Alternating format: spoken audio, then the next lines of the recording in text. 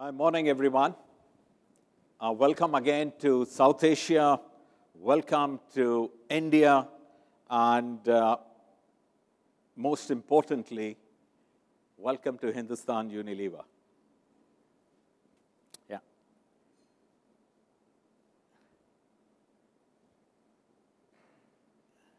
All right, here we start. A quick introduction to myself.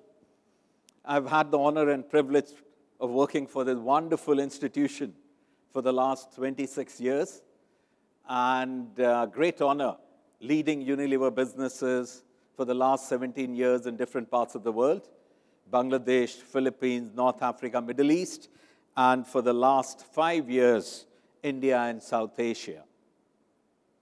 South Asia is a very interesting part of the world.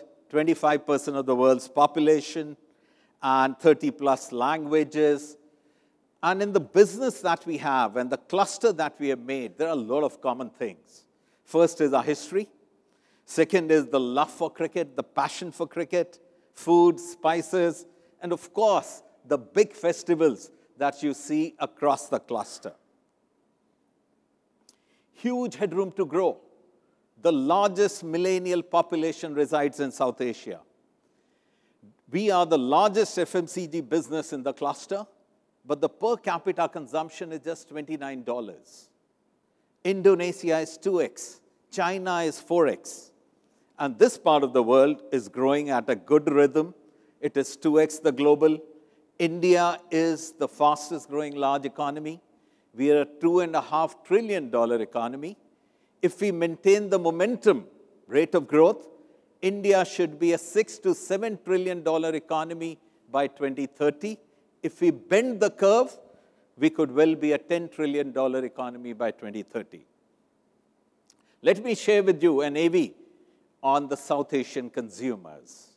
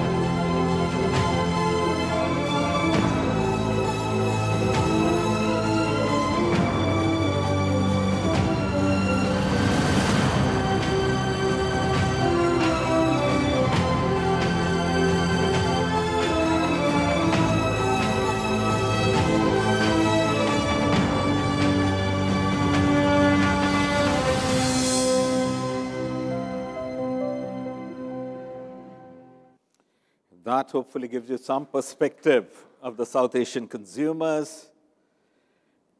Unilever has had an amazing history in this part of the world.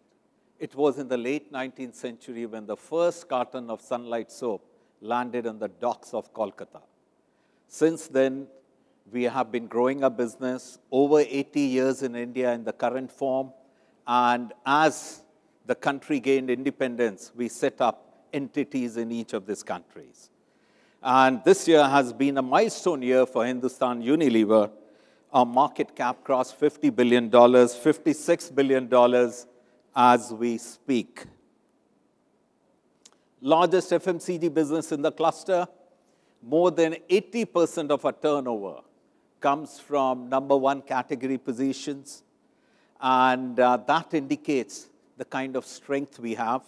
And tomorrow you will get to see our Pakistan business and Bangladesh business, and you will see the strength that we have in each of these countries. Now, in the last 10 years, we have grown our turnover by 11% with a UVG of about 6%, robust margin expansion, and the wonderful bit has been this growth has been across divisions and across the countries. Let me now share the story of Hindustan Unilever. Hindustan Unilever has been, uh, a great job has been done by, by predecessors in the past. And if you look at a story of the last 10 years, we've had a 10% CAGR. My predecessor did an amazing job, Nitin Paranjpe. He's here with us today, heading the Foods and Refreshment Division. And uh, we are the fourth most valuable company in the country today. Our footprint, yeah, nearly every household uses one or more of our brands, and we are feverishly looking for those who don't. Our brands are available in 8 million stores across the length and breadth of the country. We have been the dream employer for nine consecutive years across sectors. Forbes rates us as the eighth most innovative, innovative company in the world, the most innovative in the country, and of course, out of the top 50 brands, most trusted brands, 13 come from the stable of Hindustan Unilever. Consistent high performance. If I pick up three stories from our three divisions, these are the stories of the last six years. Here, we nearly doubled our turnover, increasing our market shares by 700 bips it has crossed 50% market share today. Home care, again, 1.8x, and our profitability dramatically transformed, 3.7x. Tea, we have again regained the title of the number one tea company, nearly doubling the business and the profitability. And with the proposed acquisition that we announced yesterday, we would become one of the largest foods and refreshment business in the country, if not the largest. Our strategy is anchored around growth, consistent, competitive, profitable, and responsible, and underpinned by our sustainable living plan.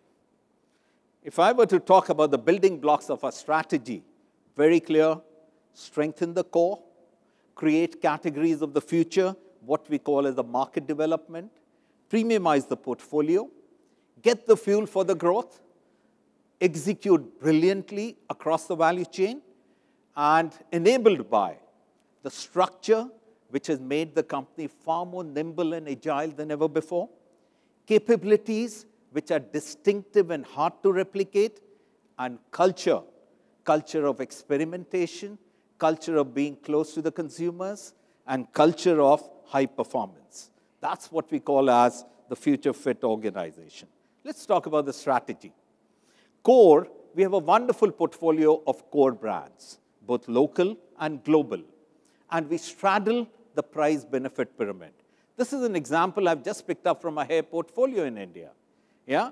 At the bottom end, if you look at it, which is one of the largest selling SKU in the country, the most widely distributed is a sachet of a brand Clinic Plus, which is sold at 1.5 US cents. Ladies and gentlemen, that's not charity. We make money on it. And at the top end, we sell Indulekha, which is a premium hair, wonderful hair care brand. And uh, to those of you who are worried about hair fall, I would certainly urge you to carry back bottles of Indulekha with you. We strengthen the core based, of course, on uh, making it more aspirational, through a purpose-led brands, constantly innovating and renovating it, focused SKU at a D average level, which I'll talk about, and the focus is on driving penetration and the weighted distribution. On all our big brands, we have engagement platforms.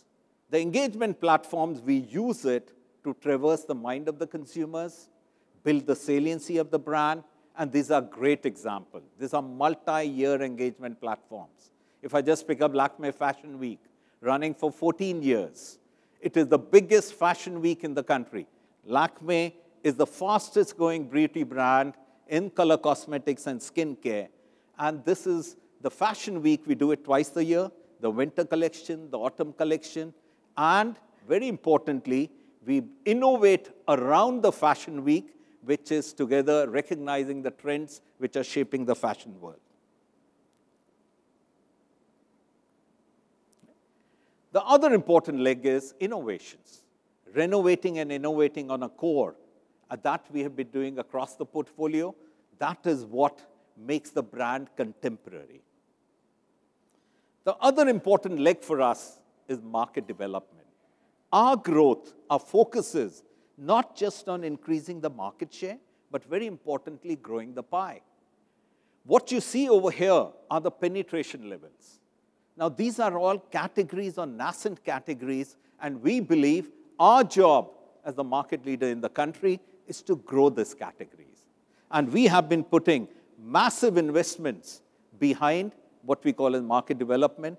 Just to give you a sense or a perspective, every year, the consumer brand interaction on market development is to the extent of 200 million consumer contacts.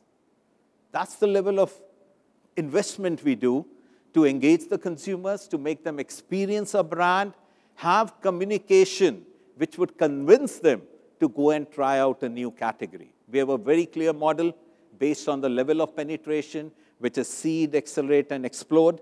And we now have a portfolio in India which is about 20%, which is growing 2x the HUL's average rate, and which has doubled in the last five years.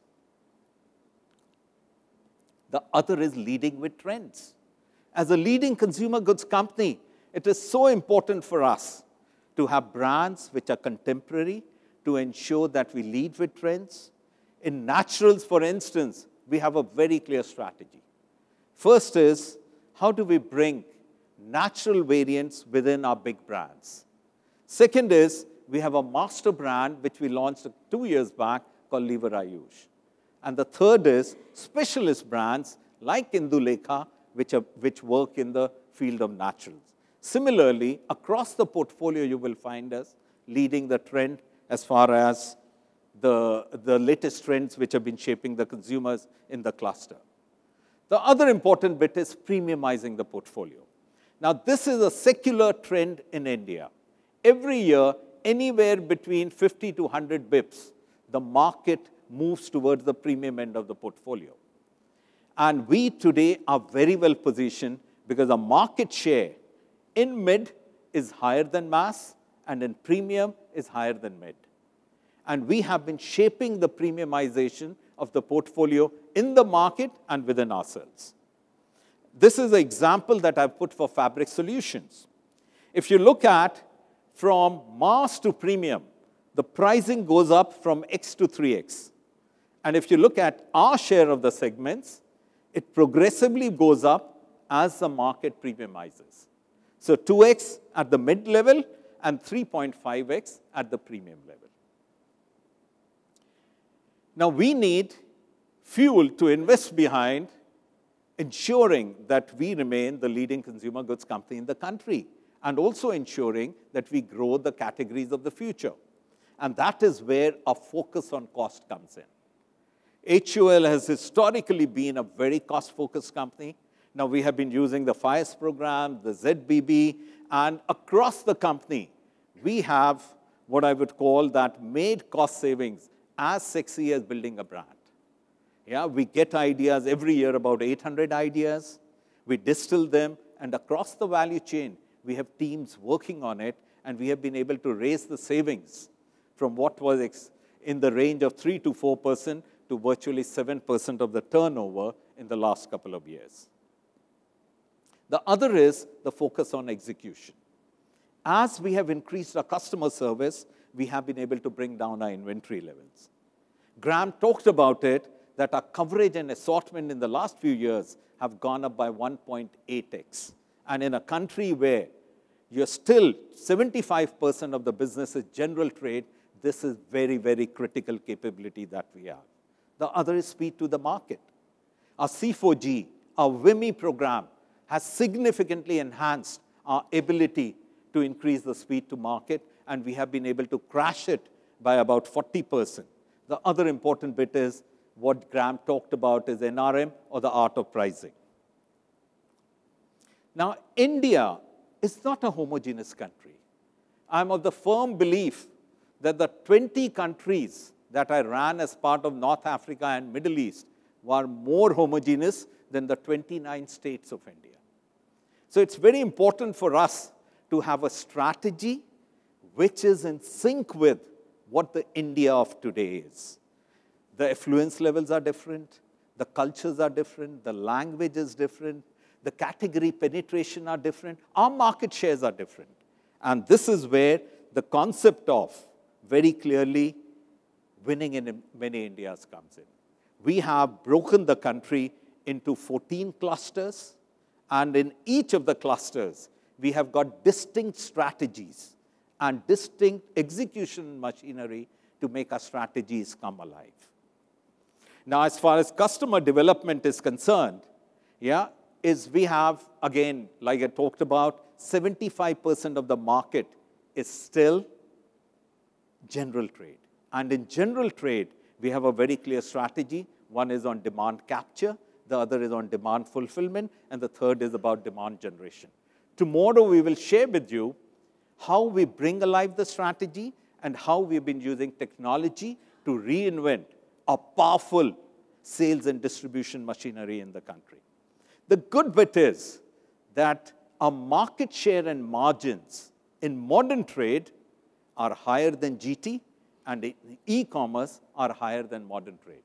So as the channels evolve, we are well positioned to get the benefit of the changing dynamics. Now, what are the big shifts that we have done in the last couple of years? First is, like I talked about, is winning in many Indias. 14 clusters, this gives us a real distinctive edge in the marketplace. Yeah? We tailor make the strategies based on the kind of consumers that exist in the 14 clusters. Our propositions today are very clearly tailored made to that. And that is how we come bring alive our strategy. I'll just give you two example, a couple of examples. One, if you look at face care, you have markets where the penetration is low, there are focuses on replacing the proxy products. And where very clearly the penetration levels are higher, we look at how do we increase the usage occasions. Similarly, when you look at fabric solutions, there are markets where we are upgrading, and there are markets where we are getting into new formats like matics and liquids. In, as far as refreshments are concerned, you would be surprised that the palate for tea changes not just from state to state, but many times from district to district. So we have offerings which are tailor-made for different parts of the country today. That's how we have brought winning in many Indias alive. The other big shift that we have done is through what we call as the CCBTs. Today, we have got 15 mini boards of the country category business teams. Now, this has done few big things. One is it has empowered the organization and unleashed a massive amount of energy. The second big thing is it has liberated my top team to focus on year two and three innovations, look at where possible disruptions could come from, look at M&As, and work on what we call as reimagining the Hindustan Unilever of the future. Now, digital trends, Graeme mentioned, and you will see a lot about it tomorrow when uh, Peter takes you through the sessions. But what is shifting India, what is impacting is, of course, a rapid penetration as far as internet is concerned, based on mobile.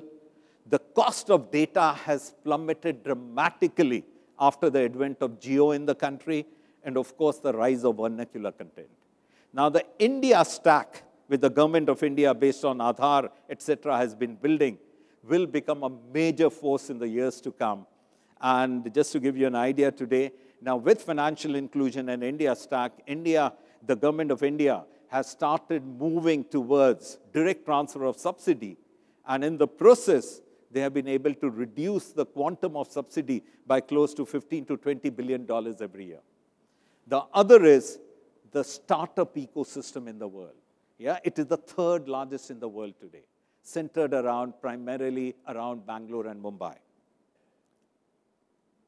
Now we are harnessing the changes happening around us with data at the center of our strategy, and the changes that we are doing under reimagining HUL is across the value chain.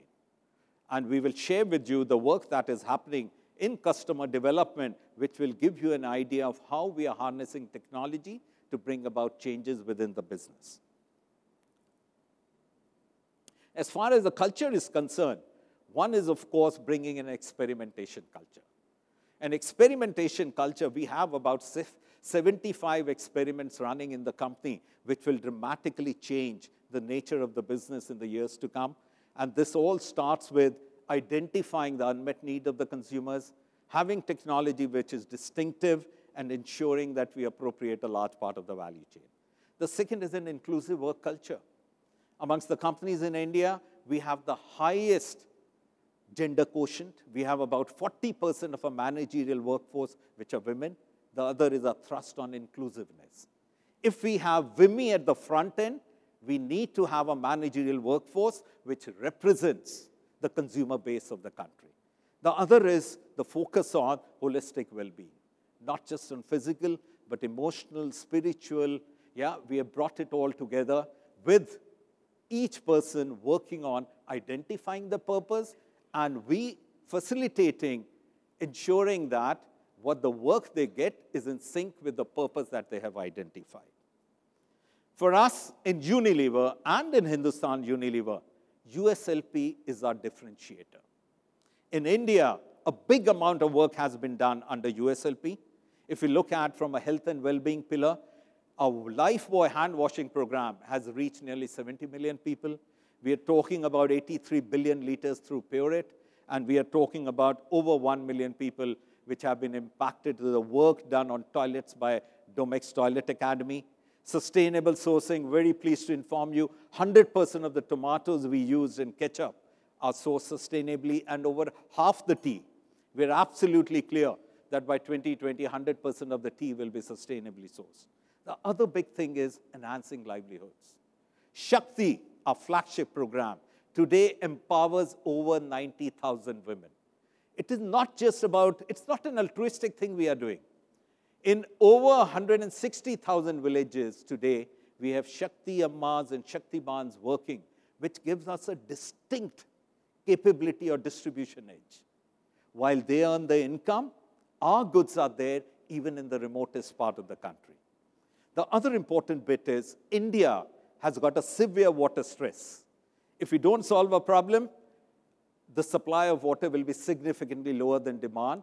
And our business, from the time you get up in the morning and clean your teeth till you go to bed, requires our brands, and those brands require water.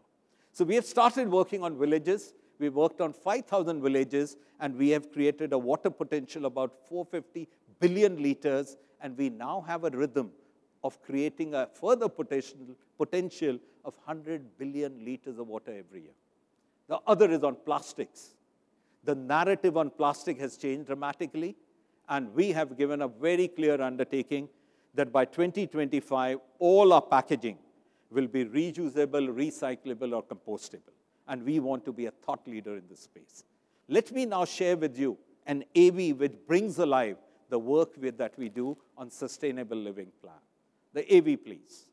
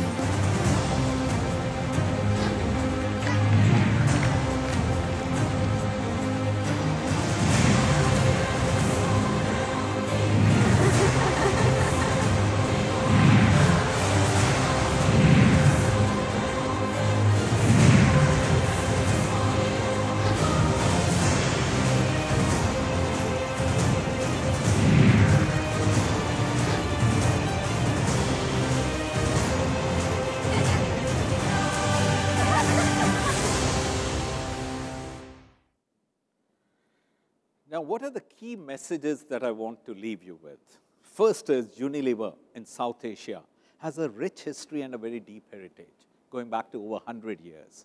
Second, we're the largest FMCG company in the cluster, but there is massive headroom to grow FMCG in the country. And if you're in the cluster, and if you look at it, the young population, the fast-growing economies, rising urbanization, the digital connectivity, all are fertile ground for the FMCG industry to grow. Second is massive presence, a clear and compelling strategy, and a great execution machinery. The more important bit is we are future-proofing our business from the portfolio perspective, from the capabilities perspective, and from the culture perspective. And last but not the least, purpose-driven, where USLP is deeply embedded and is our differentiator in the cluster. Yeah, I'm left with about three and a half minutes. Would be very happy to take any questions that you may have.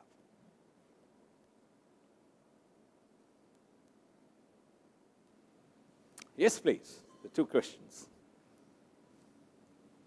Hi, John Ennis from Goldman. Uh, firstly, thanks for hosting us. Um, Pleasure. I, I, had a couple of questions on market share. You mentioned that you have a higher share in premium and a higher share in some of the more developed distribution channels such as modern trade or e-com. That's right. I wondered if your total share gains as a whole are a function of consumers migrating up both of those ladders or whether you're actually gaining share within premium and gaining share within yeah. modern trade.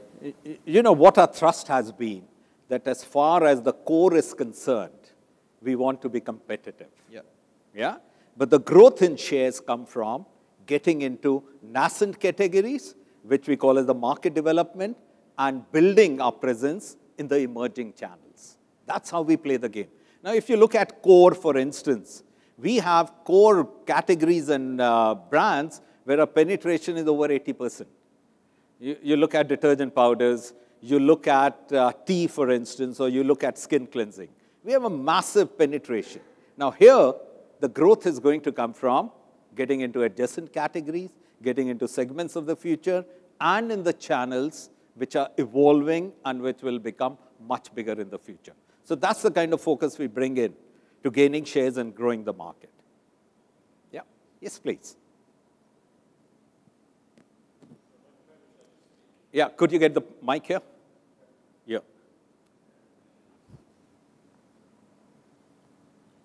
Thank you. It's Martin Deboo, Jefferies. Sanjiv, can you just remind us the development of the modern trade? I think when we were here in 2007, you said that modern trade was about 10% of India. That's right. Is, you said 25 today. Are those yeah. two consistent numbers?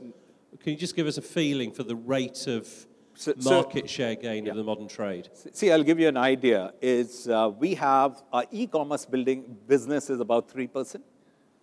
Our institution building business, which is to the army canteens, the Air Force canteens, etc., that is in the vicinity of about 7%.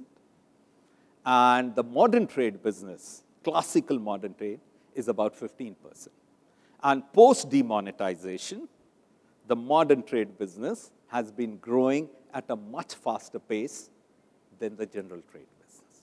Why, why is that? You know, very clearly is there has been a shift from the unorganized to the organized, and it has increased the use of instruments like debit card and credit card in the country significantly. That has facilitated. So we believe that the trade will keep evolving. Even after 10 years, the biggest channel will still be general trade. But there will be increasing share of e-commerce and modern trade. Yeah? Yes, please. The last question. Uh, fairly standard questions on local brands. Um, clearly sitting uh, uh, in London, we read a lot about uh, the development of local, local brands. So first of all, is it true? Um, and what are the attributes of the ones that are winning? And what can you do about that theme in general as a large, diversified organization which yeah. is looking to be agile? Yeah. You know, first, very importantly, we look at it from the lens of Indian consumers. Whatever is relevant for Indian consumers, we would cater to that.